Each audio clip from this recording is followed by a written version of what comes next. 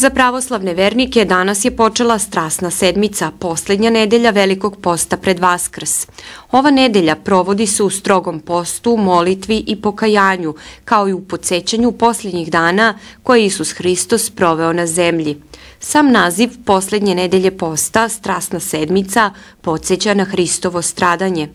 Tokom ove nedelje sveta liturgija održat će se za veliki četvrtak i veliku subotu, a za veliki petak obavlja se posebno bogosluženje sa iznošenjem plaštanice.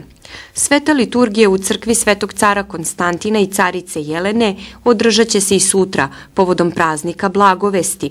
Blagovesti se obeležavaju u znak sećanja na susret Deve Marije i Arhangela Gavrila, koji joj je prema Evanđelju saopštio da će roditi spasitelja ljudskoga roda, Sina Božijeg Isusa Hrista.